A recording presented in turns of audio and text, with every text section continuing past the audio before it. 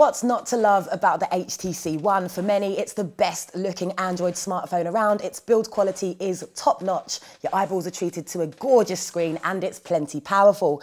Now, rumours of its successor have been doing the rounds for ages, but HTC's flagship is legend no more, and it's gone from being the one to being our mate. So it seems HTC's looking to reclaim its top smartphone crown by adding more of everything. More screen, more power, more battery, more camera trickery, and even more metal, which is what the M stands for, making this the 8th gen metal HTC.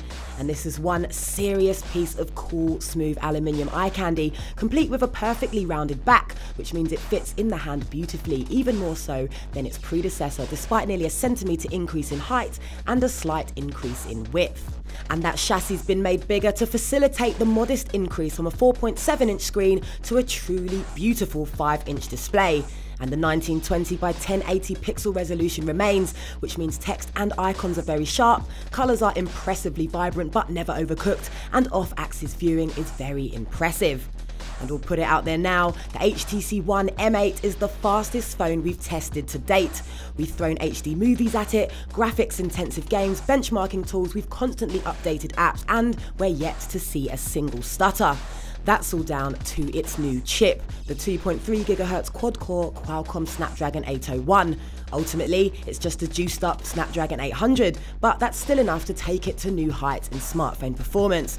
But with the Snapdragon 805 potentially making its debut in the impending Galaxy S5 and LG G3, it probably won't stay on top for long. And on the camera front, you'll find the same 4.1 ultra pixel lens as before, only now there's a dedicated depth sensor to create what HTC is calling a duo camera, giving it the ability to focus post snap.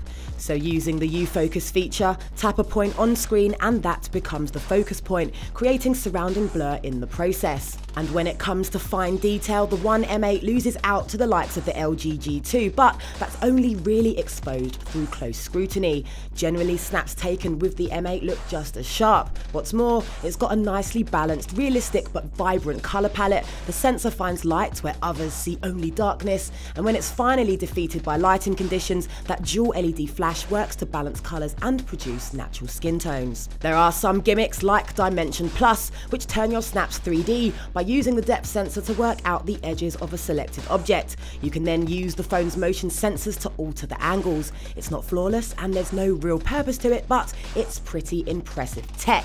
And there are loads of other fun camera tricks to sink your teeth into too. Plus, there's highlights, which groups all of your pics and video from particular moments and events and turns them into a fun montage. Then there's the Sense 6 skin, which sits on top of Android 4.4.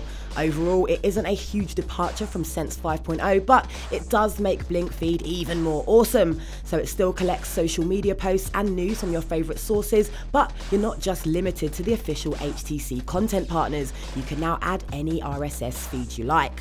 More impressively, it now monitors your activity, works out what most interests you, and presents that first to deliver the news and friends activity that's most interesting to you. With a bigger battery on board, it's little surprise that it outlasts its predecessor, and you can also expect Fitbit integration as well as G2-like wake functions. The BoomSound stereo speakers are also 25% louder and sound much, much better too.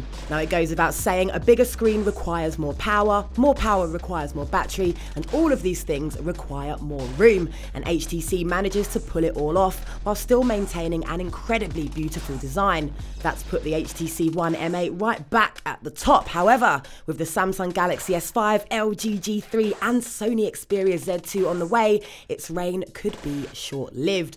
But whether they'll actually perform better and be as nice to hold and live with is something we'll all have to wait and find out.